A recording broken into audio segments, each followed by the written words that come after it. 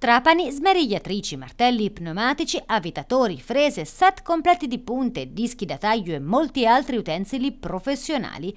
A ritrovare le attrezzature da cantiere rubate presumibilmente dai furgoni parcheggiati in un piazzale di un hotel di Ponte San Giovanni nel Perugino sono stati i carabinieri della compagnia di San Sepolcro. I militari hanno scovato gli autori del furto a bordo di un'auto. Si tratta di due cittadini italiani con precedenti penali, uno dei quali già sottoposto alla misura della sorveglianza speciale ufficiale e che adesso è stato arrestato in flagranza e denunciato a piede libero assieme all'altro complice per il furto.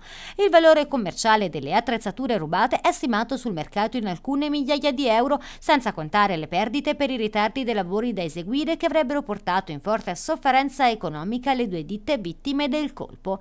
Gli inquirenti non escludono che le attrezzature rubate potessero essere utilizzate anche per colpire altre abitazioni dell'Aretino, specialmente nel periodo estivo.